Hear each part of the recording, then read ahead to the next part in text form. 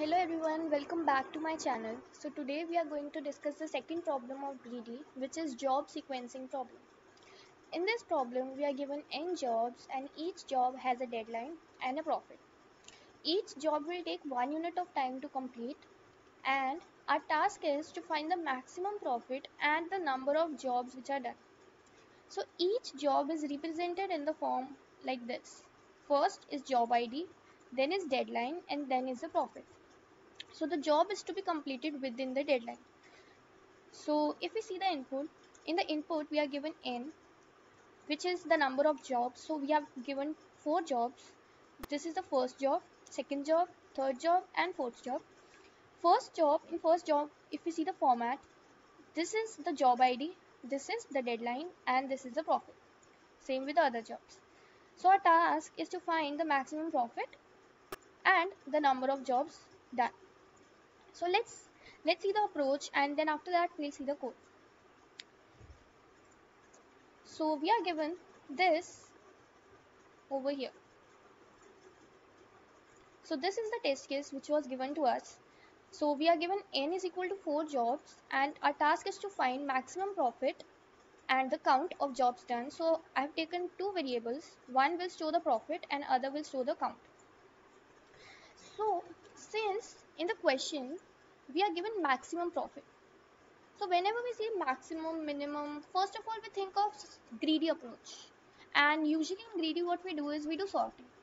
So over here we need to give maximum profit. So first of all we need to have that job which has maximum profit. So let's think logically. If we are given a number of jobs and we need to find out maximum profit, we will start with that job which has maximum profit. So if we see in each job, these are the profits. So why can't we sort these jobs according to their profit? And since we want the maximum profit, we will keep the job with maximum profit in starting. So we will sort in descending order. So after sorting, we will get 40, 30, 20, 10.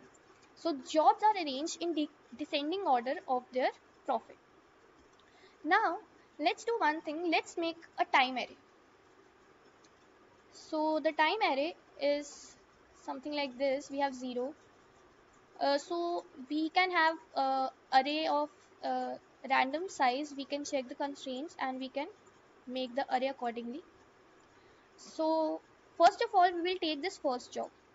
So we take this job we see deadline is 1 which means this job is to be completed before the deadline right? So we can take this interval 0 to 1 and this job can be done in this interval.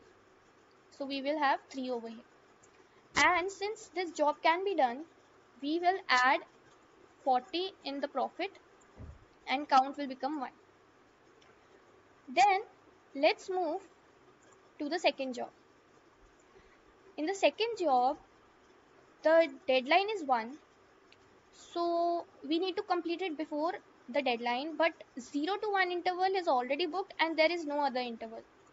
So we can't take this job. Then we go over to the third job. In this the deadline is 4. So this interval 3 to 4 can be taken. So we will store job ID 1 job in 3 to 4 interval. Then after that we will go to the last job.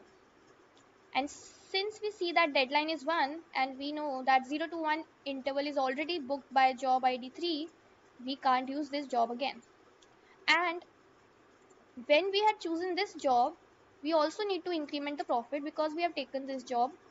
So now profit will become 40 plus 20 which is 60 and also the count will become 2 so in this process in this way we had traversed the entire uh, array of jobs and the final answer is 60 and 2 so let's see another example.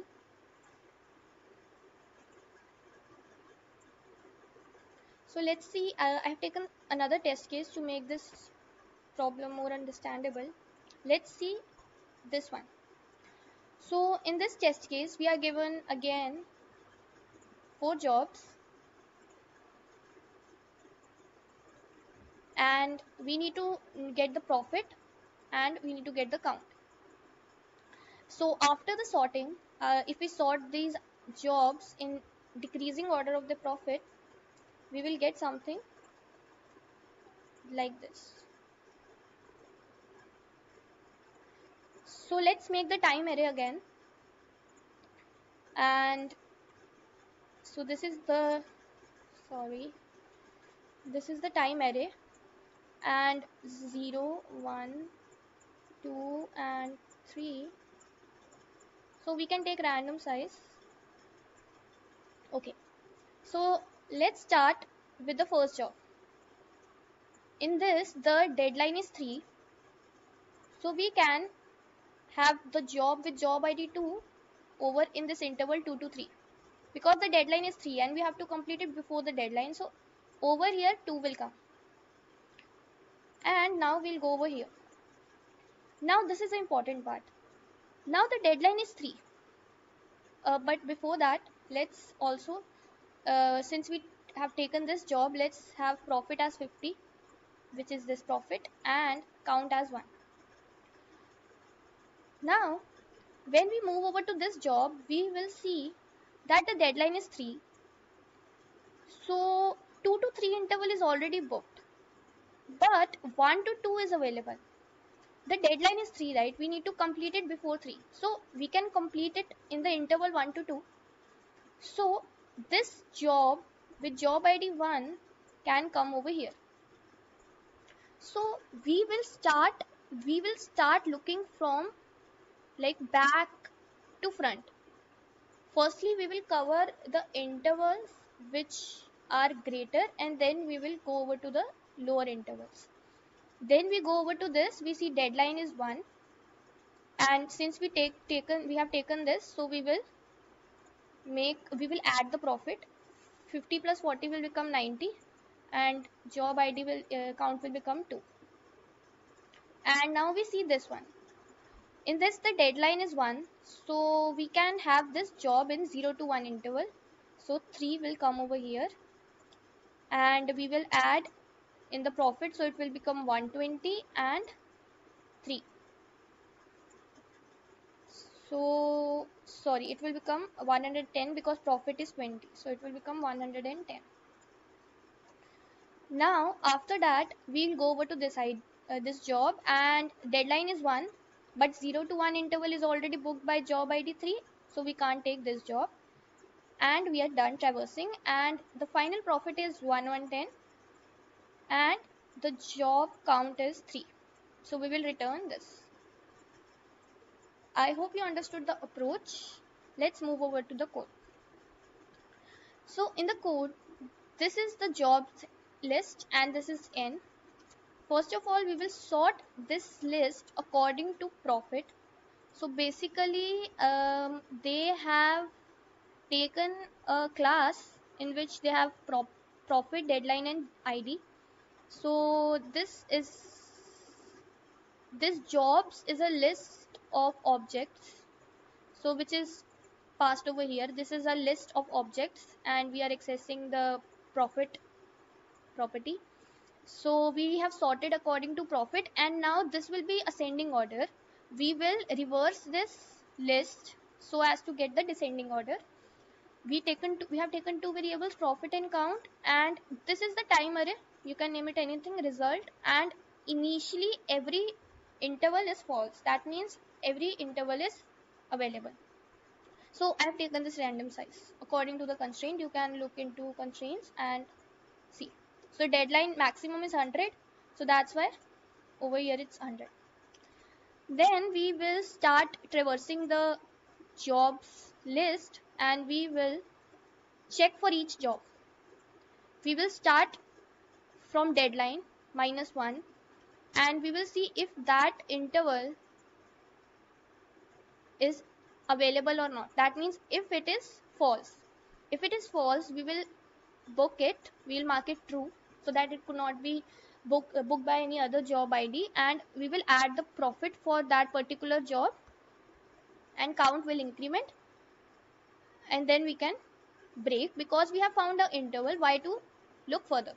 That means if I have found like suppose if we have found this interval why to look uh, before that? Because we already found the interval this will decrease the computation uh, like if we go uh, further then it will increase the computations which you don't want.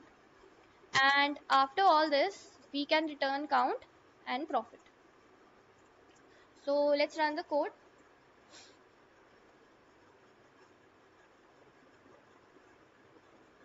It's working. Let's submit it